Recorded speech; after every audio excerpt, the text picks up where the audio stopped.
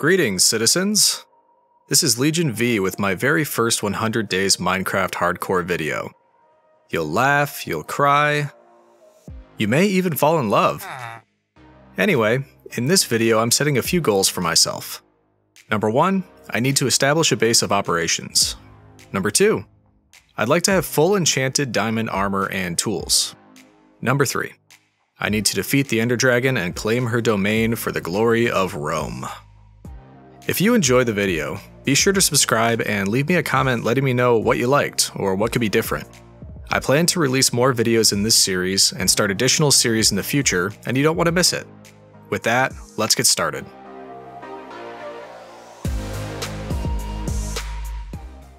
Ah, day one on a brand spanking new Minecraft world. I began by doing what absolutely no other Minecraft player would do gathering wood. I then created a crafting table, crafted an axe, gathered more wood, really groundbreaking stuff. I also saw a brown mushroom near spawn. I wouldn't need any for quite some time, but I knew if I didn't grab some now, I wouldn't be able to find it when I actually did need it. I decided to take a river tour as I looked for a place to call home. And I continued to get distracted by coal, bamboo, watermelon, and various other resources. As the sun went down, I rode downriver, and I noticed some structures up on a hill and realized I had found my first village. I decided to take a look around and relieve these plebs of one of their beds and anything that they happened to have in their chests. I also figured they didn't need any of their hay bales or crops, so I requisitioned them for the Republic. I couldn't remember if I could get a brewing stand if I broke it with my hands, and yeah, turns out you uh, you definitely cannot. I saw mobs beginning to spawn, so I bravely ran toward, and then away from them, as I searched for a place to make camp for the night. The first couple of houses that I checked had upstanding citizens at rest, and I didn't want to disturb them.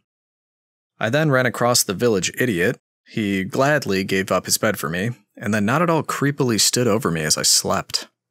When I woke up, the sun was set to cook these spooky boys at 390 degrees for about 10 minutes, Extra crispy. I began to survey the land for a potential base when a creeper asked if I needed a friend. I told him I don't talk to strangers, and he didn't take it well. A couple more spooky boys decided to leave the shade and work on their tan, while this little chicken riding goober came at me. Again, I wasn't interested in new friends just now, but I was interested in this valley as a place to start building. I liked the location because it was near a village and a water source, but it was clear that I'd be spending a decent amount of time terraforming to make it usable. To prepare, I crafted a shovel, organized the various resources that I had collected so far, planted what I could, and got to work.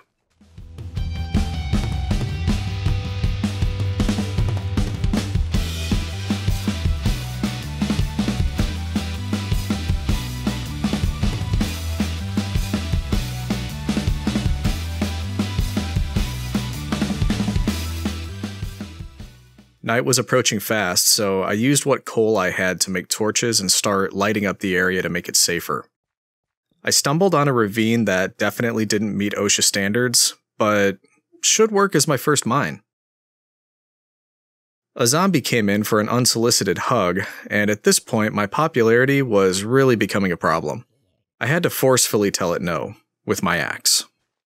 Before I was ready to call it a night, I decided it would be a good idea to plant what the villagers had so kindly allowed me to requisition before food became a problem. It would be a long time before the hay bales ran out uh, by crafting it into bread, but I need some variety in my diet. On day three, I awoke from my luxurious bedroom beneath the stars. I know it doesn't look like much now, but I had plans to completely transform this place before the 100 days is up.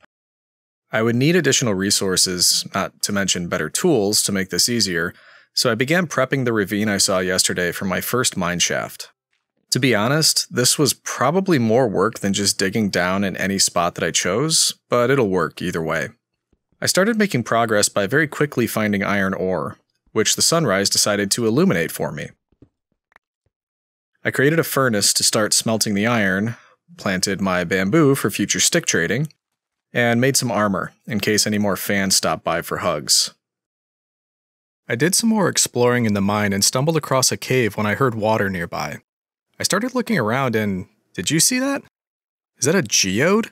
I always have trouble finding geodes, and here was one right in my path on day 3. I wanted to take a closer look, but this spooky boy told me very definitively that this was his geode, and he wasn't a subscriber, so no, I couldn't have a look. We'll win him over eventually. Before I went back up to the overworld, I found an underwater cavern that I was certain had some resources just for me. I made some doors in order to create air pockets while I explored, and found a decent amount of iron while I was at it.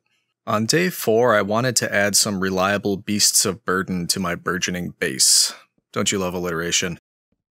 I started adding a luxury pen for anything I could find and went looking for, oh, uh, look what I found.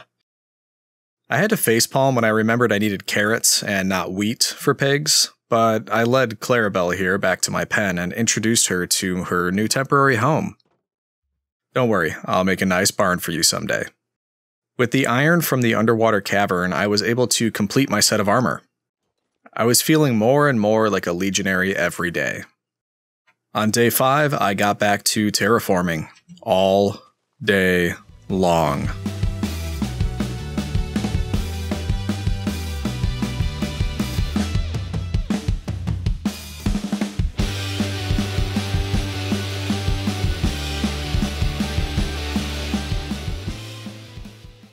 On day six, my fans tried a new tactic to get my attention.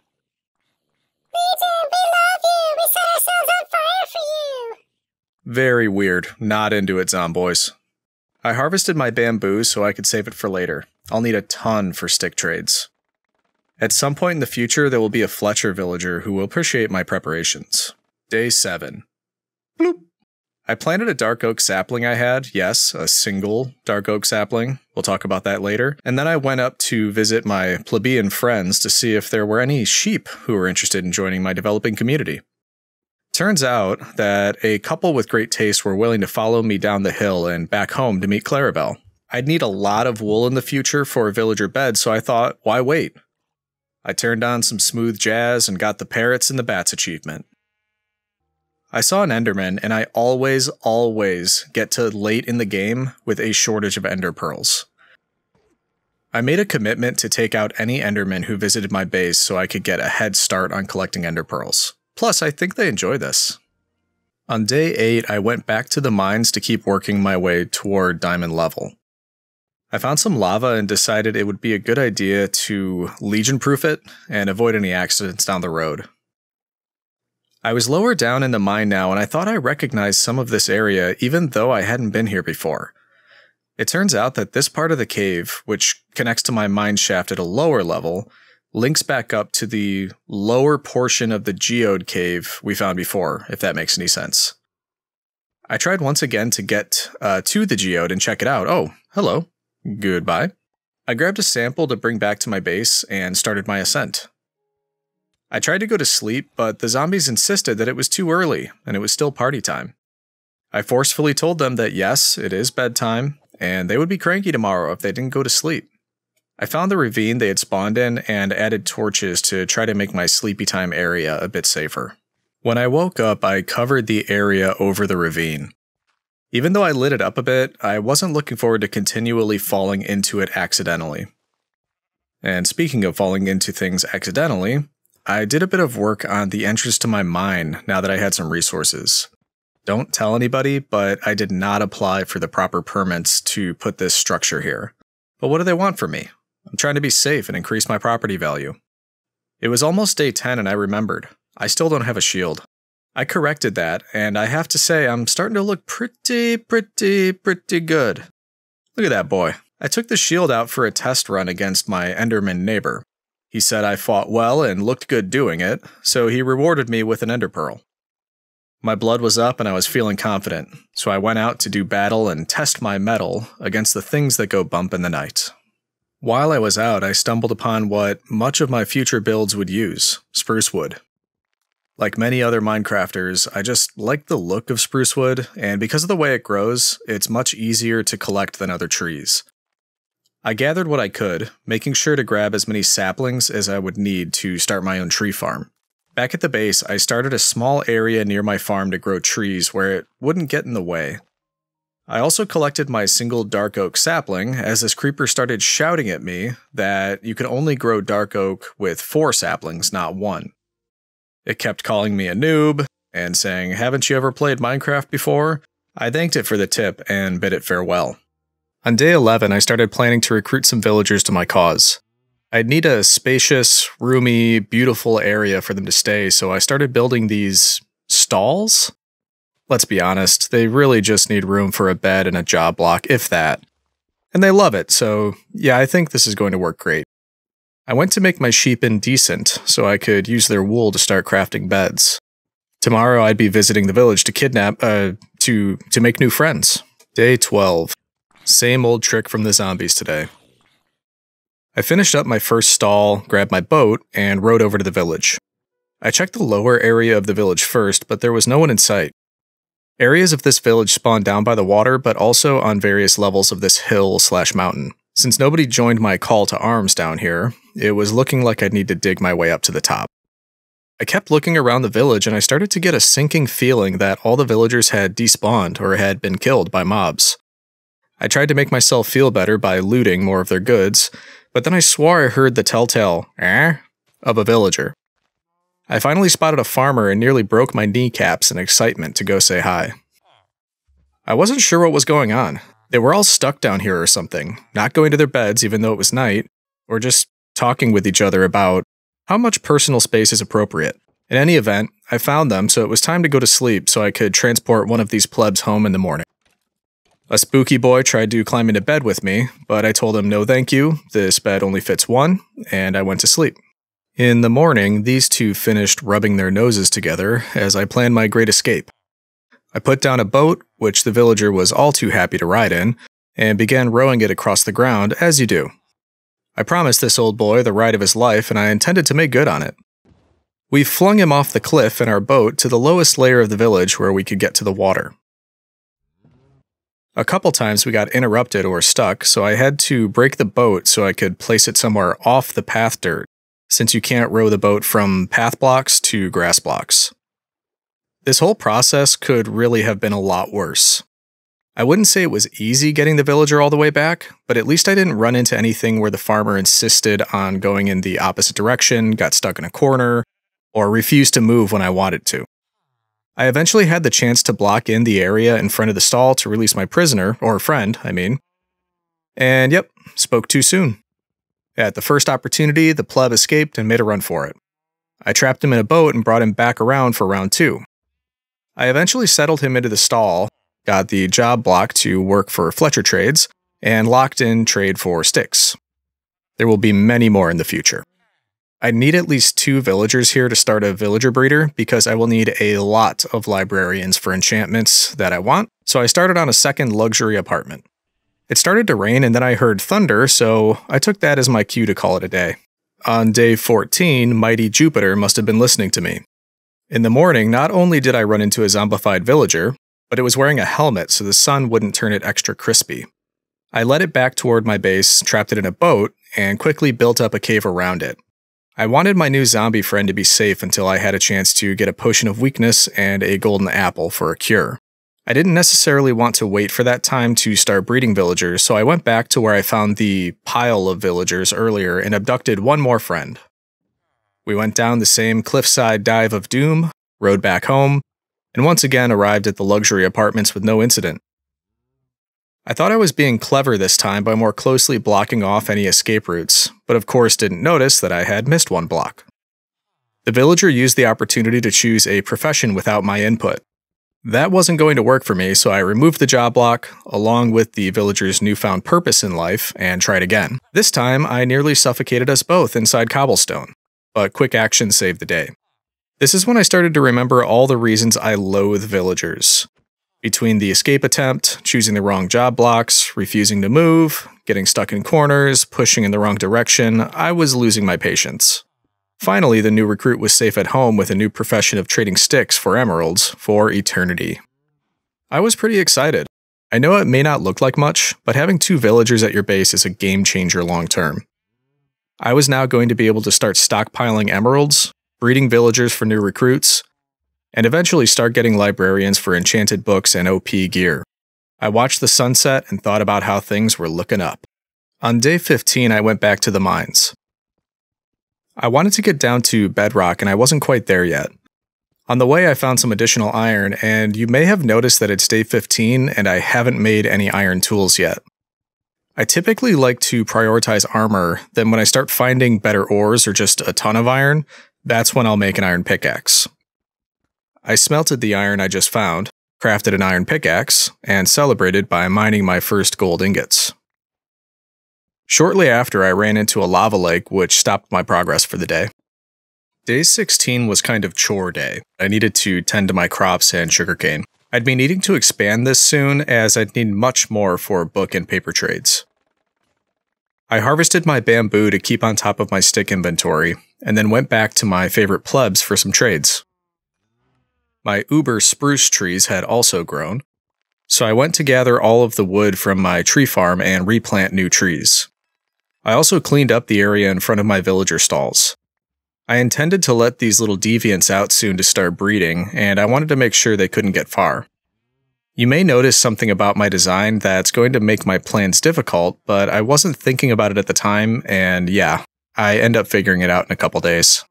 I placed a magical floating bed down for what I hoped would be my newest conscript villager, and continued to spruce up the place a little bit. You get it? Spruce up. I'm using spruce wood. Yeah, you like that? I'm sure I'm the first one that's ever thought of that. I released my two best friends into the wild, but it turns out their massive foreheads were stopping them from going anywhere. I gave them a bit more clearance and then absolutely blew their minds by making it rain carrots. More than they had ever seen in their lifetimes. They stood in awe of my carrot wealth, and because I was feeling magnanimous, I decided to throw some wheat their way too. I actually wasn't sure if that would do anything since you can't eat wheat directly, but I'm sure they appreciate it nonetheless. But you know who can eat wheat directly? My growing mass of cows and sheep. I kept up with breeding my animals to ensure I'd have enough wool for beds and leather for books. I went back down to the mine and planned on taking a turn to avoid the lava lake. I started digging to the right because I'm sure to be safe in that direction. Like I said, I started digging to the left because that would definitely be safe. I grabbed some gold ore in my path and continued the mine shaft down to where I could hopefully find some diamonds. On day 18, I hit a snag. My mine shaft intersected with an underwater cave. I really didn't feel like trying to find another direction to dig again, so instead I went in to assess the situation. It really wasn't that many levels down to continue digging past the water, so I decided instead to build up on either side of my mine shaft where it would be underwater, then fill it in with random blocks to remove the water, then dig it back out, and there you go. Water free. I reached bedrock and planned on just starting a mine in one direction before I went back up. But almost immediately as I started digging, I ran into diamonds. Now this is obviously awesome, and you can see how happy I was, but I was concerned with what this meant for the future of diamond mining. As soon as I get to bedrock, I find diamonds. Does this mean that the Minecraft gods are going to make it up to me by making it impossible to find diamonds from this point forward? Doesn't matter. That's a future problem for a future Legion. On day 19, my base was looking good. It's starting to level out and look clean, but my farms were still a mess. I wanted to start some better organized farms for each type of crop I wanted. I'll typically build farms off a single water source with tilled soil four blocks out on every side. Any further out from four, and you need additional water sources to saturate the soil. So this setup gives decent yield on crops, and it's a manageable size. On day 20, I continued my organizational efforts by finishing up my farm project. The plots of land were prepped and ready, so I planted my wheat, beetroot, carrots, and potatoes. All of these would help in the future for villager trades and breeding. I checked on my villagers, but no hanky panky yet. I added a chest for leftover bamboo, fed the future cheeseburgers, and cleaned up my old temporary farm area. On day 21, it was back to terraforming. I wanted a large amount of level ground for future builds. I had a couple builds in mind for this 100 days, but this whole area would eventually be used for future videos. I then started setting up an area for an expanded sugarcane farm. I didn't feel like bringing water onto the land, so instead, I brought land out into the water. I used what I had so far to fill in the new farm. I was putting on some finishing touches when Neptune sent some demons out of the deep after me. I wasn't sure what I had done to bring about Neptune's wrath, but at the end of the day, it wasn't a problem. I easily slayed them, but got no trident for my troubles. With that distraction out of the way, I began placing down trapdoors between all of the sugarcane.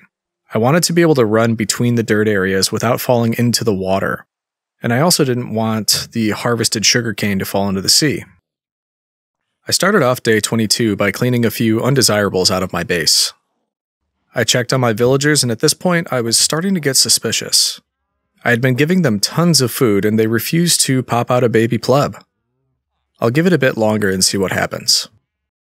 I was working to fill in more of my farms when a wandering llama enthusiast spawned in. I wasn't really interested in his trades, but I was interested in becoming a llama enthusiast myself. I kept trying to trap the llamas so the leads would detach without them getting mad at me, but it wasn't as easy as it sounds. After placing a ton of blocks to try to separate them, I finally succeeded. My reward was two shiny new leads and two new best pals. Sorry, villagers. I led them over to my animal pen and proceeded to tame them and get the Best Friends Forever achievement. Day 23. Something's up. My villagers have taken enough food to last a few years, they're doing plenty of nosy kisses, but they refuse to breed. I sat there for a minute thinking about it and then it hit me. I built their entire ground area out of slabs. I'm guessing the half slabs are preventing spawns inside their pen, which is preventing new villagers from spawning in. I replaced the slabs with full blocks, gave them some additional carrots for good measure, and asked Ceres to send us plenty of future trade monkeys.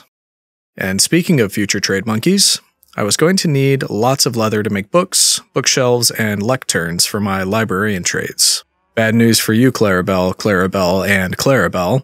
I also gathered plenty of sugarcane to turn into paper for the same empire building capitalist reasons. I went to check on progress with my villagers, and it turns out the slabs were the culprit. We now have a third willing worker, happy to be locked in a 3 by one area for eternity. Now that we had the limited villager problem solved, it was time to expand the villager barracks area for the new recruits and craft books out of the materials I'd been gathering to prepare for librarians. On day 24, I maintained uncomfortable eye contact with this Enderman in an attempt to get him closer to me. But just like when I tried this trick in real life, it just scared him off. It was a great day for capitalism. I went to see my stick boys for some trades, worked a bit on the farms, and then went to check on my zomboy. It looked nice and comfy in the cobblestone cave, so I gave it some privacy. I cleaned up the temporary area I had been using for villager breeding because I already had two villagers and they were ready to turn into librarians. I planned on making a larger breeder soon, but in the interim, I really wanted to get a mending villager so I could use the three diamonds I found a few days ago for a pickaxe without having to worry about breaking it. I got everything prepped for the next day so I could do everyone's absolute favorite thing in the whole wide world re rolling librarians until they finally give us the enchantment we want. At least that was the idea for day 25, but my villager was broken. He refused to use the lectern as a job block, even though it was the only one that was close. I finally gave in and broke the temporary pen to see what was up, and it turns out this villager really, really wanted to be a farmer. I had to put my foot down and explain to this villager that a life of tilling the land was not in the cards. He was going to go to college, and he was going to trade me books. After another temper tantrum, followed by another escape, I was finally able to start rolling for librarian trades. You can probably guess how this went. I kept breaking and replacing the lectern to refresh the enchanted book trade until I got mending. Honestly, it could have taken longer because after a couple minutes of this, I did actually get mending. I rushed to grab what I needed to make the trade and lock mending into place. Once that was done, I prepared to get the mending villager back into his apartment, but it wasn't night yet and I didn't trust him to go quietly back into the correct spot. While waiting for nighttime, I goofed around for a bit in my mine, and by the time I came back up, I had nearly missed my window to rush the villager to bed. The sun was rising, but I quickly broke the boat and locked my prisoner slash friend back up. Now that I was starting to get enchanted books, I was going to need an anvil.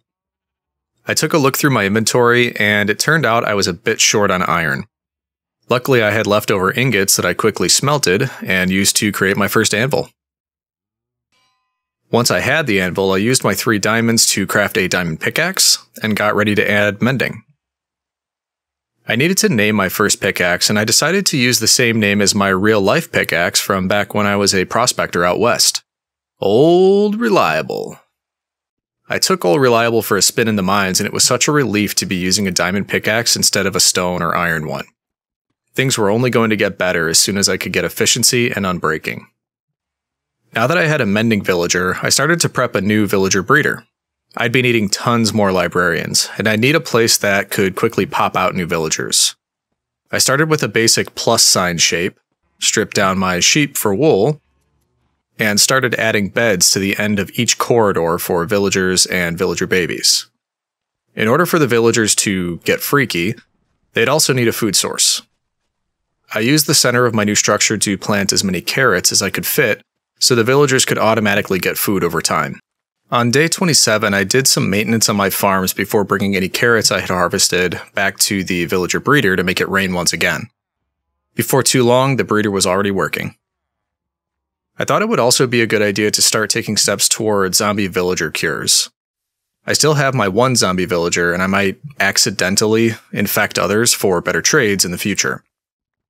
I'd need blaze rods from the nether, so I went down into my mine to where I found a lava lake plopped down some water to make obsidian, and got to mining.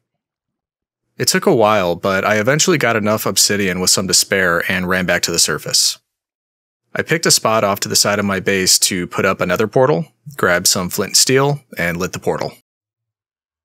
On day 28, I stifled my whimpering and crying long enough to walk through the nether portal. Until I get full enchanted diamond armor, I will be terrified of the nether. Every single thing here is out to get me, so I wanted to quickly get what I needed, then go home. I tried to collect what resources I could while I was here, and also play hide and seek with a ghast. My typical strategy when I start in the nether is to not get lost. To that end, I'll typically pick a direction and move in a straight line either by building across gaps or placing torches on the ground as breadcrumbs leading back to my portal. Whenever I found something unsafe, like a lava stream, I legion proofed it to avoid accidents. Eventually, when my path opened up and I had a clear view ahead, I noticed something. A single turret sticking up through the ground from another fortress. This is what I was looking for, and I guess I found one? I only noticed the one small part, but it should work. I built my way down, and what do you know? There was a blaze spawner on top of the turret I had spotted. I needed to be quick and grab a few blaze rods before I got overwhelmed. As you can see, it wasn't going great, but I wasn't dead yet, so that was good. I kept smacking these spicy candelabras until one was kind enough to drop me a blaze rod. I hung around a bit longer to see what I could collect before I got too scared, and that number turned out to be 3. I didn't want to be flash fried just yet, so I ran back to safety. When I emerged from my nether portal, this isn't right. It drives me nuts when this happens. For whatever reason, my portal didn't link back up to the overworld correctly back at my base. I spawned in somewhere underground in a random cave. There wasn't much I could do, so I began digging up to figure out where I was. When I emerged, I appeared to be underwater somewhere. I knew I'd be coming this way again, so I marked out the ground with a pillar of cobblestone so I could stop the flow of water down into my staircase leading to the portal. Fortunately, I could see my base from where I was, so I swam back home to relative safety and organized all the loot I had brought home from the nether. On day 29, I started prepping for villager cures. I'd need splash potions of weakness, and for that you need fermented spider eyes, which you can craft using sugar, a spider eye, and a brown mushroom. I'd also need gunpowder to make it a splash potion. I needed the blaze rods to make blaze powder in order to power my brewing stand. I made some bottles of water for my potions and got to brewing. I'd also need golden apples, so I used what gold I had to make one. Now that I had what I needed, I went to say hi to my buddy, Zombie Villager. I opened up his cave a bit because I have terrible aim, then threw the splash potion of weakness at him and fed him the golden apple. I was a bit worried because he was supposed to have particle effects around him to indicate the cure was working, but I heard the proper noises, so I think it just has something to do with my Optifine settings. One of my Iron Golems was sad about the cure because he wasn't able to Hulk smash the zombie in his territory. Maybe next time, bud. I stood around waiting for the cure and then, Plunk. I had cured my first zombie villager. I didn't have a farmer to trade with yet, and I wanted to turn my farms into emeralds. So I locked this guy into a farmer for lower produce trades and released him from his boat. It was nighttime, so he ran to the villager breeder beds instead of his stall, and honestly, I wasn't willing to fight him on this, so I left him there. Now that I had a farmer villager for trades, I thought it would be a good idea to plant pumpkin seeds. Once I maxed out trades on potatoes and beetroot, I wanted to be able to use the pumpkin trades for additional emeralds. While I was running around, I noticed my iron golem left me an ender pearl as a present. You shouldn't have. And speaking of iron golems, while I was prepping for my next librarian villager, I heard a golem getting damaged. I went to see what was up, and Dingus McGee over here had gotten stuck under a low roof in the villager breeder. Looks like he got it figured out eventually, but I guess there's not much room for a brain in that big noggin. I started re rolling my new librarian, and this was taking forever. He refused to give me what I wanted Unbreaking 3. He insulted me by offering Unbreaking 1, then, after tons more re rolling, Unbreaking 2. I was slightly tempted, but I kept rolling, and finally, he gave me Unbreaking 3. Jerk. I quickly bought the enchantment and added it to Old Reliable. This was going to save me tons of experience mending my pickaxe since durability would go down slower. The last thing I wanted to do today was create an auto composter. I wouldn't want to keep all my produce long term, and I could always use the bone meal, so I did a simple setup using hoppers to feed anything I wanted to compost from a chest into a composter, and then another hopper to fill a chest with bone meal. On day 31, I harvested sugarcane to make some additional paper for trades with my nerds. There was a slight chance if I leveled these boys up, they would unlock enchantments that I wanted so I didn't have to roll for them on a new villager. I then went down to my mine to grab a bucket of lava for entirely innocent reasons. When I got back to the surface, I accidentally dropped the lava next to an iron golem. What's even worse is that I timed picking the lava back up poorly, so I burned any iron that the golem dropped. I decided to accidentally try one more time, this time dropping the lava higher up to avoid burning any drops. But of course, right before the golem died, he climbed up onto a composter just to make sure any iron drops would be consumed by lava. What a guy. I went back to the geode part of my mind to collect the gold I saw here when I first discovered this cave. I wanted to explore further into this part of the cave, and I was feeling a bit more confident now with full iron armor, a shield, and an iron sword. I was doing fine until I got to this one part where I tried to make a staircase up and see what was over this rise. Every time I tried to climb up, something was waiting around the corner or falling from a higher place.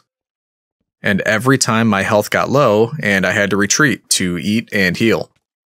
Even to the point of hiding in this small area so I had time to heal. What did I ever do to these mobs? I continued to mine my way up and do battle with any who would stand in my way. As I continued to dig out of the cave, I found the surface. I took a look around and I wasn't far at all from my base. I came out right near the mini jungle biome. I got right to it, smelting all the iron ore I had collected while mining. On day 34, I looked at my villagers and decided they'd be a whole lot more likable if their trades were lower. I grabbed a couple that I had been using for paper trades and enchantments, broke their job blocks, and had them jump into a boat. I then rode them into their new temporary Airbnb. I could tell they loved it. I waited until night until I could find some zombies, but these wannabe Zubats started pecking at me, reminding me that sleep was important, and it had been too long since I got some Z's. I shooed them away, then led a couple zombies into the cave where my volunteers were waiting in their boats. Once my nerds were zombified, I followed the same process of throwing a potion of weakness at them, then feeding them golden apples to cure. I had played with the Optifine settings and fixed the particle effects, so now I could see that the cures were working. I took a close look at this nerd and bam, there we go. Cured Villager. I checked his trades and the Unbreaking enchantment went from 27 emeralds to 2. I'd call that a win. Mending was down from 26 to 1 emerald, so I stocked up on as many books as I'd need for the foreseeable future. I decided to enchant my shield so I wouldn't need to continue making more, and it needed a name. I thought for a bit, but the only thing that came to mind was Stonewall Jackson. Don't judge me, you think of a better name. At night, I wrestled to get my goobers back into their stalls, but for whatever reason, they couldn't make up their minds on which one looked better. I had to remind them that they were exactly the same, and they finally picked a bed and went to sleep. On day 35, I re-rolled librarians all day long. Just just have a look, see how this was going for me.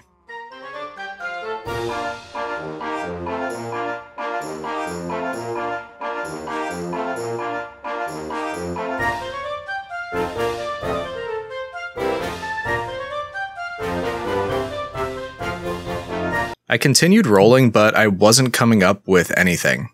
I was hoping for efficiency, but I'd take enchantments for my sword, prot 4 for my armor, whatever. But they kept giving me garbage at every roll. I eventually settled for Fortune 2 for my pick, but I was getting low on emeralds. I went back to my farmer to cash in on my hard work on the farm and got a decent amount stocked back up. The next day, I went back to rolling librarians, and for probably the fifth time, I got efficiency 1. I refused to combine that many books just for efficiency 5, so the only option was to keep refreshing for trades. At this point, I was desperate after being at this for four days straight, so when I saw efficiency 3, I decided to lock in the trade. I could settle for combining two of these and using efficiency 4 on my tools, which was still a big help.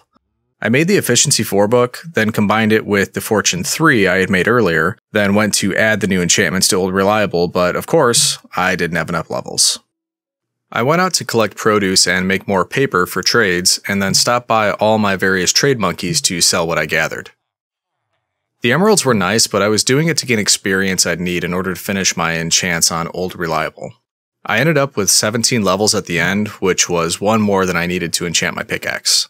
I put them both into my anvil and just about maxed out what I wanted on my pickaxe. What are you doing out here? Ploop!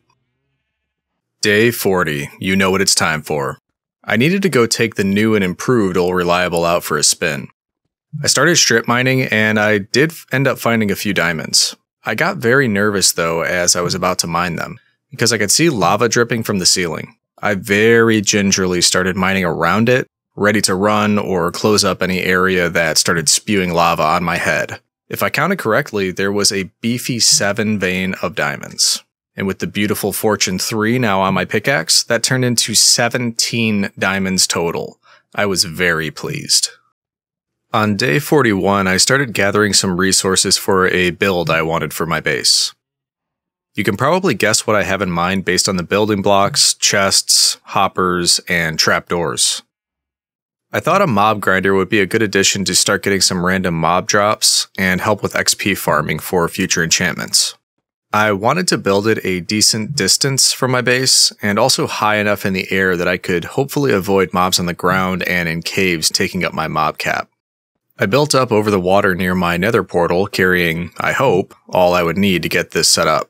I started with a small platform where I placed my mob drop collecting chests, hoppers to automatically collect, and the beginning of my mob dropper chute. As I started to build up, and sorry, don't get dizzy, the sun was rising on day 42. I went up, I think, about 21 blocks so that the fall damage wouldn't insta kill mobs, but they should be weak enough to Falcon punch them to death if I wanted. From there, I built 8 blocks out on every side for water pathways and put up walls around each path. I didn't realize it at the time, but like most of the times I build a mob grinder, I forgot to build this wall up too high instead of one. I filled in the floor where mobs would spawn, put up walls around the area, and began placing trapdoors.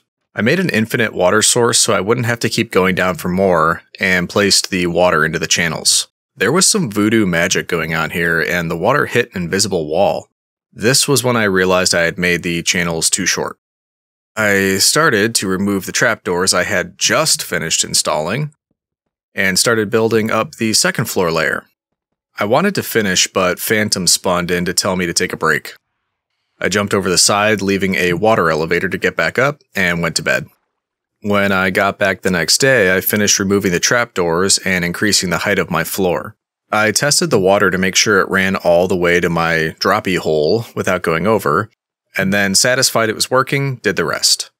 I finished up by using slabs for my ceiling so no mobs should spawn on top, reinstalling the trapdoors, which, by the way, I'm still not 100% certain of the purpose of these trapdoors.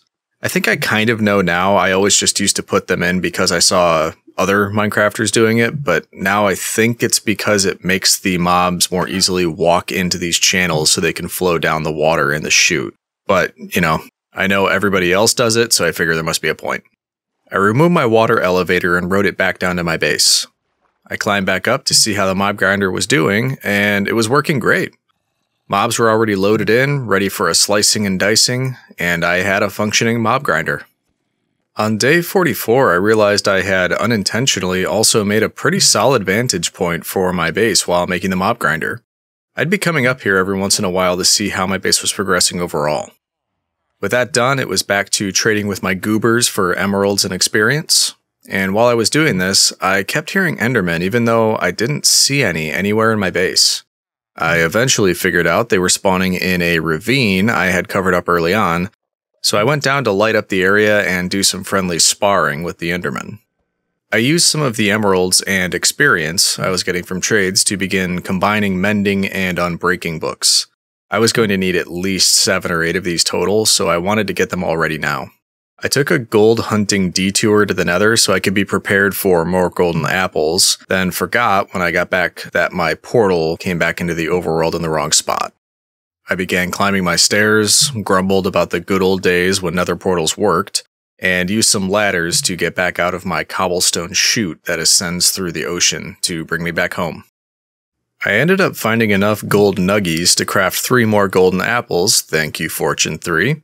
I used a bed as bait to abduct some friends from my villager breeder. Nothing nefarious, we were just going for a nice row over the grass.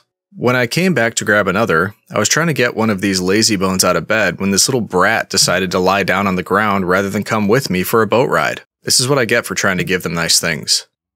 When I broke the bed, the villager took damage and I thought I had accidentally hit him. I prepared for death by Iron Golem, but the sweet embrace of the void never came. I guess the bed must have hit him somehow, but I was safe and I went back to uh, trapping villagers in boats. I ended up with three villagers so I could cure them all at once, with a second cure for two of them.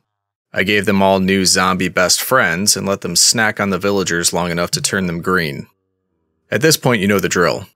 Chuck a potion, give them golden nom noms. Once cured, my farmer was offering one emerald for three beetroot trades. I'm not sure why I don't see more people choose this trade with farmers. Seems like it's always pretty easy to get near one to one trades for beetroot, and the stuff literally grows out of the ground. That's a good deal in my book. The Stick Boys trades were okay, but I'd need more work on them. So back to infecting them for a second time and curing once more. When I was finished, I got them all lined up for Nighty Night, and you guessed it, he didn't walk literally one block to get into the bed next to him. He walked all the way over to try to steal my bed. I'd kind of expected this, so I broke the bed. He then threw a fit and jumped back into the boat just to be a jerk. I tried my other Fletcher, who is no longer a Fletcher. I did something wrong, and now this guy wanted a new job block. Whatever, I just wanted them all in their stalls, and then I'd be able to figure it out in the morning. The next day, I played musical job blocks with this villager for a little while until I was able to get him back to the stall with the proper fletching job. Back by my chests, a villager appeared out of nowhere, no idea where he came from, and decided to take a job as a mason. I broke the stone cutter, so he ran over to a composter so he could start wrecking all of my farms. Unfortunately, he stepped on my rare, spicy fire pumpkins and caught fire. It couldn't be helped. Nothing I could do. On day 48, I started trading some of the sticks I had been saving up for a while. I wanted to make more tools and start enchanting, so I'd need XP. I started with an axe. I crafted a new diamond axe and brought it to my anvil to enchant and name. And give me a break. I hit a creative block, so choppy boy it is. I went back to grab my subpar efficiency 3 books, combined them, and added efficiency 4 to choppy boy.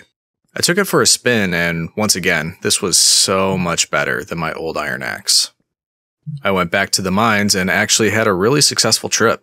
I continued strip mining and found a few different diamond veins.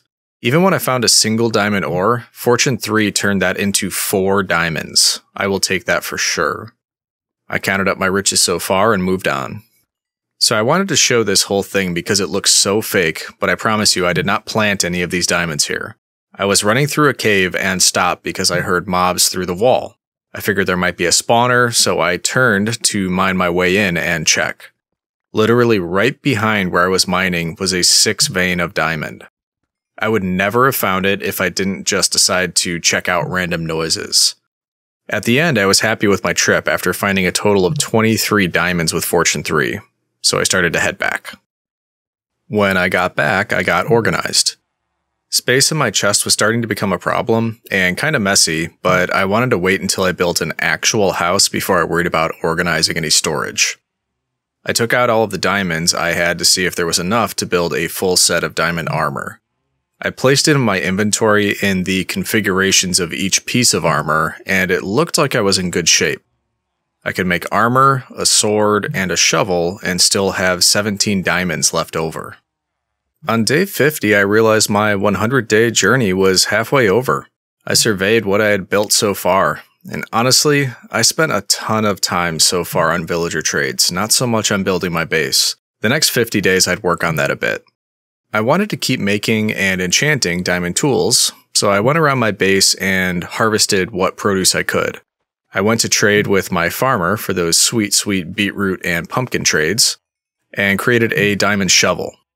I put my shovel into the anvil to add mending and unbreaking and came up with the perfect name Scoopy Doo. I can't be certain, but I'm pretty sure I heard a very soft, collective rut from all the dirt I still needed to terraform near my base.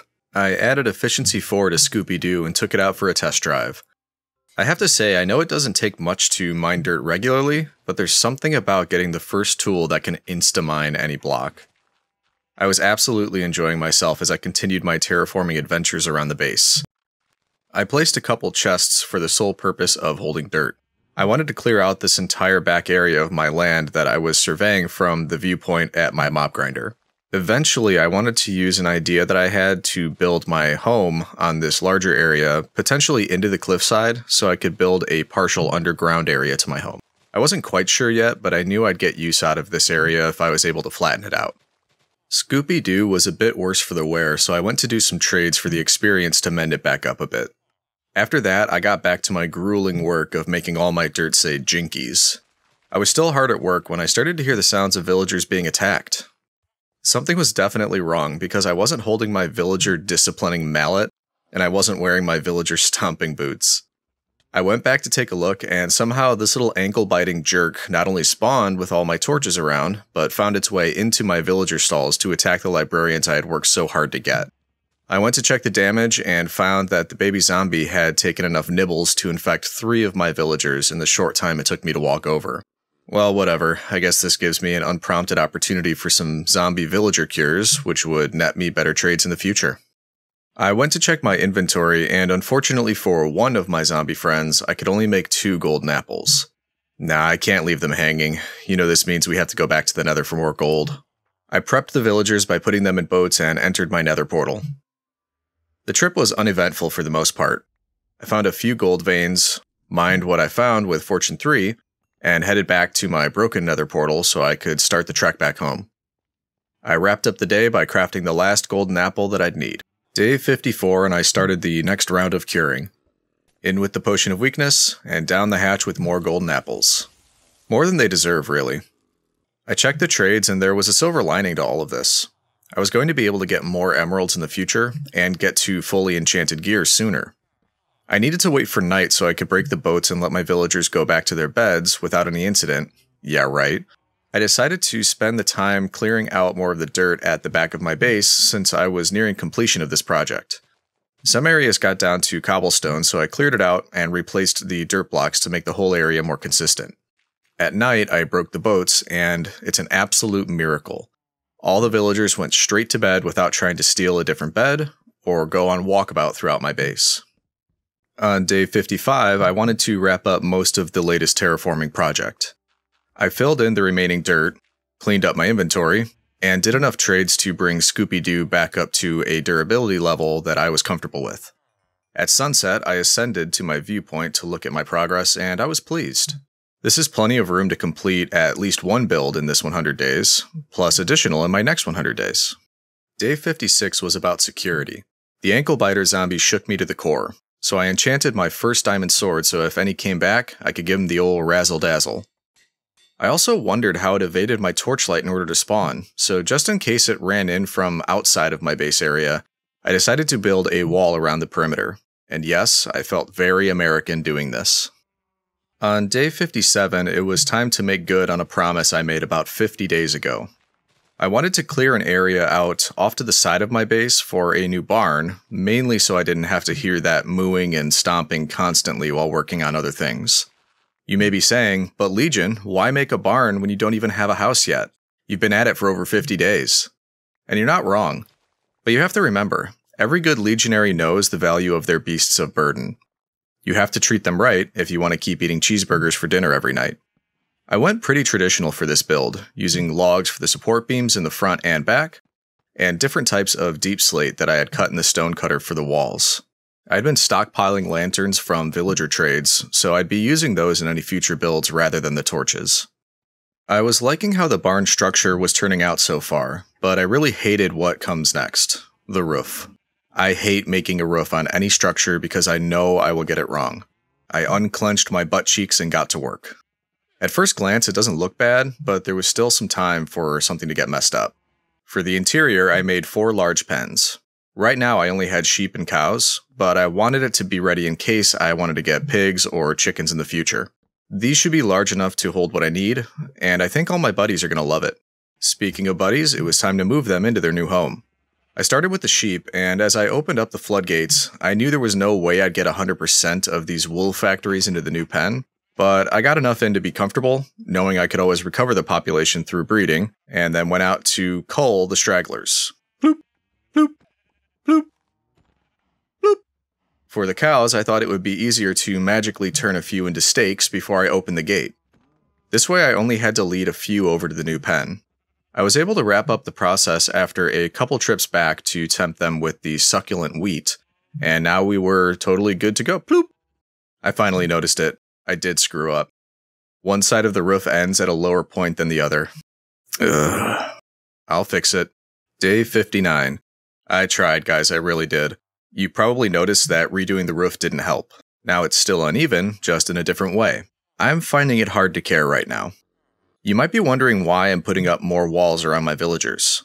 I hear you saying, but Legion, you already put a wall up around your base. I'm sure your villagers are fine. Well, you would be wrong. Why didn't you warn me that apparently zombies still had very easy access to my villagers and were happy to use them for a midnight snack? So, anyway, I went back to the nether to get more gold because I just love doing this. This is how I want to spend my pastime gathering gold nuggies in the nether, crafting gold ingot, making more golden apples, using them to cure plebs. Yeah, that's like a, uh, Saturday night for me. In any event, I got more cheap enchanted book trades, stocked up on what I thought I'd need, and then, almost as if the weather was acknowledging that the world was back to normal, the rain cleared up and the sun came out. I think I figured out the roof on the barn and I added a couple details to the front. I liked the contrast between trapdoors and the wood blocks, and it was looking sharp. I put my sweet princes to bed, and expanded my pumpkin farm a bit since I was burning through them like crazy with my trades. Things aren't looking too shabby at my base. Farms are doing okay, don't pay any attention to the barn with only the appearance of a roof from the front, that's not important, and I had plenty of open area to build. I made more combo mending unbreaking books since I had the levels for it, fed my animals to max out the new pen real estate, and played with the friendly birds that keep stopping by. I'm pretty sure I must have spilled breadcrumbs on my shirt or something and it keeps attracting them. No breadcrumbs for you tonight, Boyds. I went back to adding to my ranks of librarians, or at least I would have if villagers knew how to function. I once again removed job blocks to hopefully fix the villagers, and stopped by to say hi to my friendly neighborhood Enderman. I got back to my villagers and I wasn't sure exactly what I was looking for, but when I saw Infinity, I thought, why not get a bow? It was day 61 by this point, and I haven't done any ranged combat. I bought the book, combined it with Unbreaking 3, and went to enchant my bow. Of course, I didn't have enough levels, so it was back to being American, buying things I didn't need. When I got enough levels, I enchanted my bow and decided to call it Pot Shot. You and I both know that I don't plan to play fair when I can attack from a distance. I took Potshot for a spin and finally got the Take Aim achievement after hours and hours of gameplay in this world. Yeah, kinda sad, I know. Unsurprisingly, the next librarian I got started by offering Infinity, the enchantment I literally just locked in with the previous villager. I kept rolling until I saw Protection 3, an enchantment I need for my armor. And yes, of hmm. course, I'd love it if one of these nerds offered me Protection 4 so I could get the max level in one go, hmm. but I was still having flashbacks about the re rolling these boys for three days straight, so I gave in and I locked in the trade. I made my first Protection 4 book and placed it in my chest where I was planning out all the enchantments I'd like for my future armor. I still had a way to go, but eventually I'd need four of these. I finished the day by restocking books the easy way, purchasing bookshelves from boys, placing them down, and breaking them. I was starting to have an impressive collection of villagers for my capitalist empire. I actually wasn't sure if I wanted them in this configuration long term, or if I wanted to make something a bit more grand in the future. But once again, that's a future problem for future Legion. I cleaned up the place a bit and put in what I hoped would be the last couple villager stalls for the foreseeable future to get what I needed for my gear. I offered the spaces to some willing volunteers and then locked them in for their own safety. They can leave anytime they want, honestly. I was going to try to make this newbie villager work through the night, but I heard thunder and didn't want my whole market area here burning down. I ran back to bed to uh, sleep in the rain. I really need to build a house soon. When I got back to it, we had another prison break. Not that this is a prison, I already told you they want to be here. Then this old boy decided to scale the walls like Ezio, almost as if he'd been planning this since he arrived at my married compound. I gave him points for ingenuity, but I did actually need him to come back and stop trying to take random jobs around the base. He nearly escaped again, but I finally got the situation under control. He ended up giving me efficiency 5, and this was a bit difficult. My tools already had efficiency 4 through my grueling work, and this guy swooped in with something I needed many days ago. Still, it could come in handy so I didn't have to keep combining books to level them up from efficiency 3. It is what it is. I locked it in so I could more easily get max levels on my tools. I continued to level the same villager to see what other trades would be offered, and he had the audacity to then offer me efficiency 4. Like I would ever need that now. And for double the price. Do you believe this guy? Anyway, I upgraded Old Reliable and went to work on the last villager. These two must have been conspiring because this time the new guy decided to give me the exact same two enchantments next to each other, I'm not even sure why that would be an option, but I was kind of numb to all of this by now. You know how I was hoping yesterday would be the last couple villagers? Well, I actually do need a bit more. So I added some protection to the other side of my market area, abducted two more volunteers from the breeder area, and got to work. I'll spare you the details, but in the end, I got Silk Touch for a second pickaxe and Looting 3 for my sword. The end was in sight, but I was fresh out of volunteers. I made it rain more carrots for the last two villages available, and then felt incredibly awkward as they started making a baby before I had the time to leave. I hid in the corner, gently weeping while I waited for them to finish. I didn't have all the enchantments I'd need just yet, but I had plenty of diamonds, so I wanted to at least craft the gear. Even if I had no intention of wearing such basic, non magical garments, I at least could organize everything in my chest, showing my intentions for what books needed to be combined with which armor pieces. Oh, this is going to take so many levels to enchant. On day 68, I was greeted by a newly spawned golem in a very unfortunate situation. It spawned too close to a low ceiling and couldn't seem to work out how to get out of this predicament. I calmly watched all of this go down, and no, that's not weird at all. Are you helping? I don't see you doing anything about it. Well, doesn't matter now. Free iron is free iron. Day 69. Don't laugh. That joke is temporary. The glory of Rome is forever. I saved up enough delicious XP orbs to enchant my helmet at 23 levels. I was thinking of naming it Noggin Blocker, but it wasn't imperious enough. Noggin Guardian has a better ring to it. Next up was the chest plate, or as I like to call it, the Moob plate. 13 more levels for that guy. I took a break, and while I was working on the farms, another drown tested me for superiority. No surprise that it wasn't up to the task, but at least this one did me a favor. It dropped me a trident. Now I have the power to challenge mighty Neptune. Or at least I would if I ever planned on using a hmm. trident. I'm always excited when I can get one, but I'm pretty sure I've never actually used one for practical purposes. On day 70, not a whole lot happened. Another day of fun rolling for enchantments all day long. The next day, however, was a good day for weapons. My luck was back and I was able to get both Power 5 and Sharpness 5 almost immediately, one after the other. I began by adding Sharpness 5 and Looting 3 to Razzle Dazzle to increase my damage and hopefully net me more mob drops. I was starting to feel good about my damage inflicting capabilities. It's important that armor is not only protective, but also functional and versatile. To that end, I made a new pair of tearaway chaps. All the boys love these. I was so close to a full set of enchanted armor, but I needed more XP. While I work on that, I have a fun fact for you. This is actually my first time playing a hardcore world for any length of time. I've been playing Minecraft for years now, but always in survival. I've been terrified to try hardcore because losing hours and hours of work would crush me. Making this video has made it easier because I at least have the video journey of my progress if one day a baby zombie takes it all away. In any event, I'm having a lot of fun, and I hope you are too. When I finished gathering XP, I enchanted my boots with a whopping 27 levels. But these were no ordinary boots. These were stompin' boots. You decide if I made Stompin' on Bugs Boots or it's Saturday night at 2 a.m. and your favorite song comes on Stompin' Boots. The time had come. I removed my, at best, equestrian level iron armor and took one last look at the mortal Legion Vee. I donned my new gear and reviewed all the various benefits, and now it's official. I am Augustus level Imperial in my new shiny protective shell. I went to test out Depth Strider, which makes me move more quickly underwater, and I was very happy that. Whoop, stab it in my mouth. Hmm, free sushi. I enchanted a second pickaxe with all the usual things plus Silk Touch. I named it after that strumpet from across the Mediterranean that Mark Antony keeps going on about. Now, I've been in this world a very long time, and I've spent the whole time sleeping under the stars. While this isn't a problem for a legionary, I did think it was high time that I had a house of my own.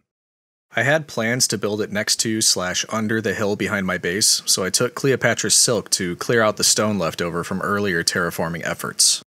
I wanted to use some for my new house, so it worked out well. I began to lay out the foundations of my new home in this cozy corner I had created, and use some blocks placed at certain intervals to keep things even. I'll typically make a mistake somewhere that makes me backtrack, so this was a way to attempt to avoid all of that. I tried a mix of deep slate and stone bricks around the base and doorways. I really liked the look of both, but I didn't want to go one solid color all the way through. I had a general idea of what I wanted, but for the most part, I was winging it and going off what I organically thought of as I built. When it was getting late in the day, I started clearing out the dirt to get an honest floor laid out. And for the floor, again, I didn't want just a solid block all throughout. I tried out a few different things, switching between different blocks and various patterns, and worked my way toward the center as I experimented. I ended up with sort of a wood and stone mix with a big X in the middle. Let's say the X stands for exceptional, just like me. Obviously, I'd need to be able to watch for raiding parties, so I started to place glass blocks around my doorways for windows, I wanted it to be open and have a decent view of the outside whenever I was in my house, so I looked for a few ways to incorporate glass windows where I could, including a larger one facing the front of the structure. I was toiling away when I definitely got distracted by the night sky. Another reason I use shaders. There are some details and beautiful views that just don't come out in vanilla Minecraft. On day 76, I started working on the Hobbit hole portion of my base. Well, not so much a hobbit hole as a convenient space I could use for my future storage solution. I started with a small room, then continued to dig. I wanted to see if this emerged anywhere that I could use as an escape tunnel or convenient path in this direction rather than climbing over the village hill. I ended up running into a cave, so I followed it out for a bit to see where it came out. While I was lighting up the area, I noticed a place further down and away that already had torches placed. This must have come out somewhere in my mind, I just wasn't sure exactly where. I didn't want to get distracted, so I ran back and kept working on the house. While I'm working on this, do you want to hear some interesting facts about Rome? Did you know that Romans believed that Rome was founded by Romulus and Remus, twin brothers abandoned at birth who were raised by wolves? Here's another one for you. You know the Colosseum, the massive structure that had gladiator battles and stuff? Did you know the Romans would flood the entire thing just so they could have boat battles as well? They would even add alligators to the water. Crazy Romans. One more for you. Romans used to wash their clothes with something kind of gross, and I'll give you a hint it wasn't Tide Pods. Look this one up, I wouldn't want to smell the laundry in Rome. Anyway, back to it. I started on the storage room and I wanted a way to organize and identify what each chest was for. More good news for my cows because I'd need to make a good amount of these item frames using leather. I started organizing in a general way, you know, stone blocks in one, wood items in another, so on and so on. I'd probably get more specific in the future. Once again, I got distracted like a squirrel by the pretty lights coming in through my skylight slash upper floor. It was around then I noticed my hand looked different for some reason. I took a good look at myself and, oh my stars. It appears an evil enchanter of some kind cursed me and changed my appearance. It definitely wasn't that my Minecraft skins got screwed up somehow. I'm sure it'll resolve itself. I wanted to make a brewing station in my new house, even though I wasn't completely done building the house yet. I was itching for adventure, so I went back to the nether. I'd need a few more blaze rods and never actually got any nether wart, which I'll need for most potions, including a few I'd like to have for the ender dragon fight.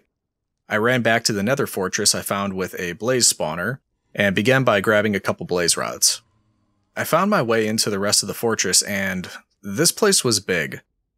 I was worried about getting lost, so I used torches as my breadcrumbs, so I'd hopefully be able to find my way back. I encountered a wither skeleton or two in my travels, and though the wither wasn't on my hit list for this video, finding some wither skeleton skulls now certainly wouldn't hurt. That wasn't in the cards today, but netherwart was. I looted the room of all the netherwart and soul sand, so I could become something of a netherwart farmer myself. On the way out, I used Potshot to grab a couple more blaze rods just in case, and then engaged in mortal combat with this crossbow wielding piggy blocking my path. He apparently didn't hear I had brand new enchanted armor and weapons. Once I got back home, I planted my netherwart in the little cubby beneath my stairs and packed away the other goods I had collected on my trip in my new storage bins. I had to rip off the band aid on day 78 and get organized. I still had chests out by my old bedroom under the stars, and I needed to run back and forth a couple two tree times in order to transfer my existing goods into the new storage room. I of course needed to label as I went, which required more leather. Your sacrifice is not in vain, my children. I then did a bit of work in the apothecary corner. I built up enough for a novice chemist, with a brewing stand and a chest full of brewing ingredients, and carved a bit of room out on the ground so I had a place for a water source. It wouldn't be a lot of trouble to just make glass bottles, fill them with water over by the uh, sea, and store them nearby, but I didn't want to get into the groove of brewing and realize I was out. This would let me fill bottles on the go like the busy working legionary I am. While I was glad to have a sort of house, the fact that it was only half done made me a bit sad. It was looking good so far, though. I'd get it done soon, but first, the wanderlust hit me. I grabbed my boat for a short expedition along the coast to see what was nearby. While I was on my way, I noticed what could only be a shipwreck beneath the surface. I went to investigate and see what loot the unfortunate seafarers had left for me. One chest was mainly stinky potatoes, the second wasn't bad. Kind of cool that I found emeralds, but at this point I had burned through hundreds in my feverish capitalism, so I was a bit underwhelmed. While I was out, I grabbed some kelp just in case. No plans yet, but eventually I may need it to make water elevators. Remember that single dark oak sapling earlier in the video? Well, I found a dark oak forest, so before I went back to base, I had to take part in some deforestation. Both for the good of the land, trees have it coming, but also so I could finally grow some beautiful dark oak back at my base. And speaking of, I cleared out the mega spruce trees I had sitting around with the aid of Choppy Boy to make room for the new guy in town. I planted my dark oak saplings, properly this time, gave it some powdered Red Bull for good measure, and started collecting some dark oak. I was beyond tired of collecting whatever fell from my trees to the ocean floor and I don't know why I didn't do this sooner, but I finally went around laying down slabs around my tree growing area. This way I could just run across, collecting everything and not worrying about risking my life in the briny deep. On day 81, I got back to working on the house. I started adding some fences to the second level for safety and added detail, and placed a few lanterns to light the place up. I wanted to build up the second level so it was almost like a mini tower, and I went with dark oak planks from my newly felled trees. I thought the change in building blocks would be a nice contrast rather than going with full stone or deep slate. As night descended, I decided to take a quick break for some target practice. The mobs happily lined up for a perfect shooting gallery game. I also used some resources I had been gathering to craft 12 Eyes of Ender. Ideally, the end portal would have a few populated for me, but if not, I'd need 12 total. Actually, probably more, as a few will typically break while searching for the end portal, so I may need to make more of these later on. I did some maintenance on my small netherwart farm near my brewing station just to make sure that I was stocked up. I'd be using some of this in preparation for my battle with the Ender Dragon. In particular, slow falling potions should come in handy. I went back down to the mine to do some more strip mining, both to collect deep slate that I'd use for builds, and for the excitement of finding more diamonds. While mining, I actually found a vein of two, with this little sneaky guy hiding for a total of three.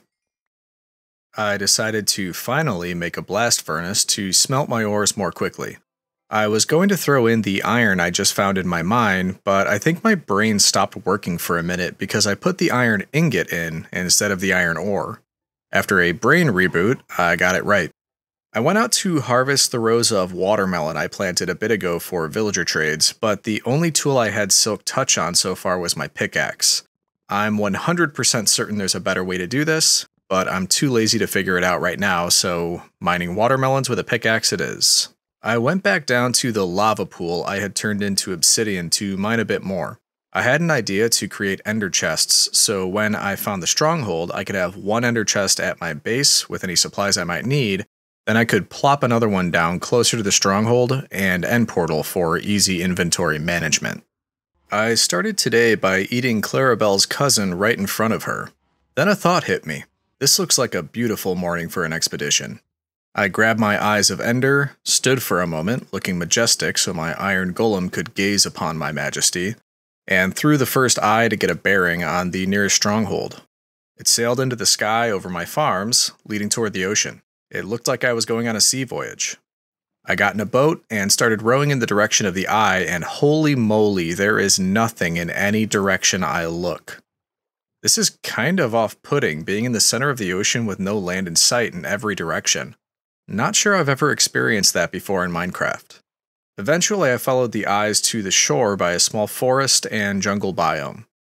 It turned me around a couple times right by the shore until the eye went straight down, indicating I had found the stronghold. I made a bunch of ladders so I could dig down and have a way to get back up when I reached the appropriate depth. I was digging a two block wide hole so I could see a few blocks down before actually falling, just in case this opened up into a large cave or directly into a lava pool. Eventually, my mineshaft did open up into an underwater cavern. I really didn't want to try to circumvent it, so I used the same trick as I did before for underwater caves. I gathered sand and started placing it around my mine shaft so that it would fall and build up a wall against the water on all sides. I then filled in the center to remove the water blocks, and then dug that sand back up to continue my hole without having to deal with the water. Once again, as I mined down, I hit an opening. This time there was a welcoming committee here to congratulate me on making it this far. I had found a mob spawner and mossy cobblestone room. I played with my new friends for a bit before I got tired of the game and told them we were done. I lit up the room to prevent any other mobs from spawning and took a look in the chests. I was able to find my first music discs in these chests, which I will most likely never use, but cool stuff nonetheless. I noticed this cave went on in one direction, and I thought, why not light this up a bit before I keep digging to look for the stronghold? So I went down the path, opened it up a bit for clearance, and placed torches to keep any mobs from surprising me in the future. Near the end of this path, I noticed stone brick, and apparently my mineshaft was a bit off. This was actually the stronghold, so I was very lucky finding that mob spawner and looking down this pathway. If I hadn't, I would have missed the stronghold. Not only that, but the first room I found was actually the portal room. The stronghold can be pretty massive, so it can be a pain to find this room even after finding the stronghold. and it just so happened it was the first room I came across. I looked around a bit more and found a second mob spawner room with chests, and it had some of the same music discs. Apparently, the game wanted me to have backups in case I accidentally got scratches on one of the copies. I then looked at the end portal, and yep, this is certainly my luck. Not a single Eye of Ender was pre populated in the end portal. I don't know the exact chances, but these do have a chance to randomly spawn in with an Eye of Ender already there. Wasn't looking that way for me, so I would need the full 12 Eyes of Ender to activate this. I'd come back later to do that, but in the meantime, I started to organize my loot in the ender chest I had set up just outside the mineshaft. I'd need to head back home and get this all sorted, as well as complete some additional prep work before the Ender Dragon fight. At least I was all set with the location of the end portal now. On day 85, I went hunting Endermen in the Nether in order to stock up on Ender Pearls for additional Eyes of Ender. Even though I farmed any of these boys who visited the base up until now, I was still short. I crafted the 12 Eyes of Ender I'd need for the portal and stored them away. On day 86, I started brewing the potions that would make the Ender Dragon fight a bit safer. I began by putting my water bottles into the brewing stand and using some of the nether wart I had been saving to make awkward potions, which is the first step in most potions. I then added some phantom membranes that the friendly birds had been dropping for me. The result was potions of slow falling for when the Ender Dragon decides to send me flying. I then did the same thing using netherwart and blaze powder to brew potions of strength, which will make Razzle Dazzle pack even more of a punch. I then remembered that adding redstone to potions will increase the time of the effect, so I'd have to use fewer potions overall. It more than doubled the time each potion would last, so that's very helpful overall. I couldn't fight the Ender Dragon while my animals still had no roof. What if it rained when I was gone? They'd be so sad. So I finally got back to it, finishing up the roof to cover the whole barn area. By nighttime, I had finished the job and now it finally had a roof from all angles, not just while looking at it from the front. Since I was in roof building mode, I went back over to my house to start working on the roof of my tower. I wanted to follow through with the skylight theme I had for my second floor, so I experimented with a leveled roof and glass that would allow me to see the stars while working late at night. I also lit up the roof so I wouldn't have to hear mobs creeping around on the roof all the time. I actually liked how this was turning out from the interior. Nice design, and it lights up the place. From the exterior, however, I wasn't really a fan. Something looked weird about it, and I think it has to do with the stone overhanging where it meets the dark oak. It doesn't look as bad from the high vantage point, but there's definitely some detail I need to fill in to make this look a bit better. Before the day was over, I started adding a bit more to the roof. I added a bit more overhang to the roof, and I think that's looking a bit better. But there's still something missing. Then it hit me. What makes every single build look 10 times better? That's right. I went over to my tree farm wielding my Shears of Destiny and went absolutely ham collecting leaves. I got as many as I thought I'd need to improve the look of my house, then kinda spaced out watching the remaining leaves despawn as the day ended. I took the stacks of leaves over to my barn to add some detail there, and that did the same for my house. This is so much better. I don't know what it is, but as soon as you add leaves to a structure, it really pulls it all together and makes it look that much more detailed. On day 89, I walked around appreciating my new home. I could officially say I was now a homeowner, and maybe my parents will stop calling me a bum who sleeps outside every night with cows and sheep. In fact, I did such a great job that my new home was featured on a TV show. Welcome back to Better Minds and Gardens. Today we're walking through this beautiful seafront property within walking distance of the nearest village. This two level recent development comes standard with skylights and easy access to a mine shaft for additional storage. This home is valued at 2,700 emeralds and is sure to be the envy of each and every villager. I wrapped up the day by heading back to the nether to see if I could fix my broken portal. The extent of my plan was basically break the nether portal that spawned in underground. Then I could head back through the portal into the nether and back again to see if it would now link back up with the one at my base. Long story short, the plan failed, and the underground portal just regenerated itself. Oh well. Day 90 was another chore day. I worked on my crops to get more produce, harvested my bamboo farm for more sticks, and went back to trade with the plebs to ensure that all of my gear was back up at full durability. I started day 91 by showing off my perfect aim at this ghast. I didn't miss once. I wanted to explore the nether a bit more and collect some additional resources. While building across a gap, I decided that rather than going around this lava or blocking it off at the source, I would try to build a tunnel under it. Long story short, every single block I placed made this worse. What seemed like a simple task, I made a big issue. I was at this for an embarrassingly long time before I gave up and took a short swim in the lava to just do what I should have done at the beginning block the stream so it couldn't fall onto me at all. When the lava cleared, I was able to see the single block that I missed that made this whole tunnel idea fail. I went back home to organize the resources I had collected on my day trip to the nether and smelted the gold I was able to collect using Silk Touch, avoiding the process of combining gold nuggets into ingots. I did some quick trading and then started to collect a few of the potions I created in anticipation of my upcoming boss fight. I realized I had a bit of time left before I hit 100 days, and I wanted to wait a bit before the Ender Dragon fight, so I decided to start on a quick side project. I started to clear off and then terraform the hill behind my house. I had something in mind, but I'd need a flat area to start. I checked out the sort of dirt pyramid I had created behind my house, and now it was all set to be the final thing I did after slaying the Ender Dragon. With that, I rode back over to the entrance of my hole that leads to the end portal, and went around clearing out the area of any trees. I may want to build a structure here in the future, so I wanted to have the space available. As the sun went down, I sat and watched all the leaves despawn once again because I enjoy the time lapses. That night, I did some warm up fighting with the mobs and made an attempt to get an achievement by hitting a skeleton from a long way away. Look at that. Like I said, I have perfect aim.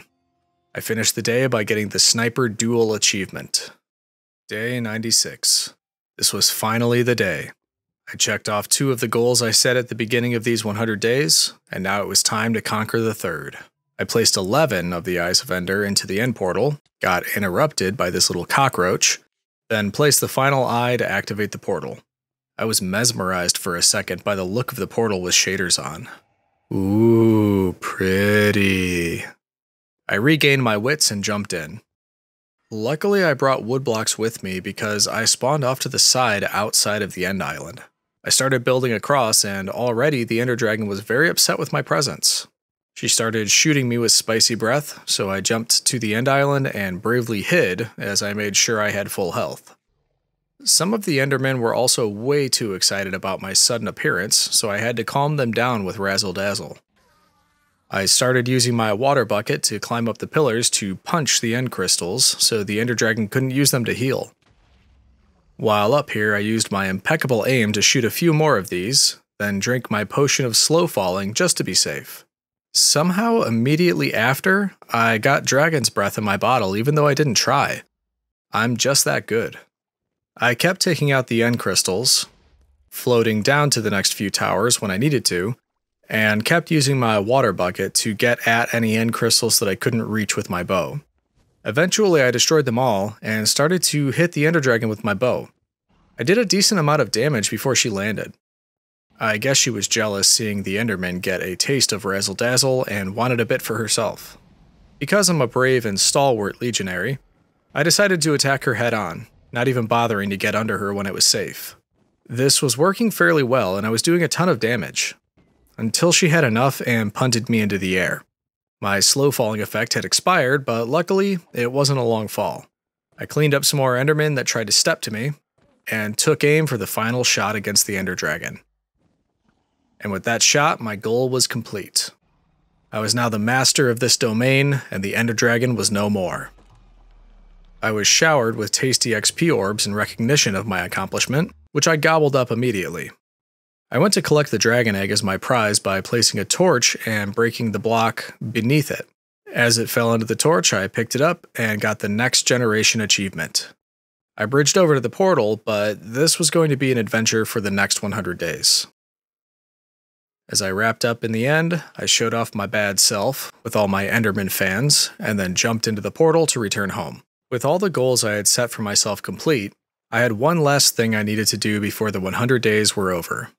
I crafted some stained glass that I'd be needing and began building up on the terraform hill I created before I went to the end. Let me know if you can tell what I'm building, but here's a hint. I needed something towering over my base that showed the whole world who had conquered this land. I kept building up using many of the various blocks I had collected over my 100 days. I also added lanterns to ensure no mobs would infest my latest creation. I was close to wrapping up as the final day approached. And here we are, day 100. On the final day, I revealed my subtle way of showing everyone in the world that this land is now a part of the Roman Republic, with yours truly running the show. Before the end of the final day, I built up a temporary tower so I could watch my base in all its glory be bathed in rays of light from the setting sun. And that's how I survived 100 days in Minecraft Hardcore. This is the first hardcore world I've committed to, and I have to say, I really enjoyed it. I'm looking forward to the next 100 days, and I'm excited about the possibilities now that I'm established in this world. I really hope you enjoyed the video as much as I enjoyed making it. Leave a comment and let me know your thoughts, and any suggestions that you may have. I'll see you all in the next 100 days.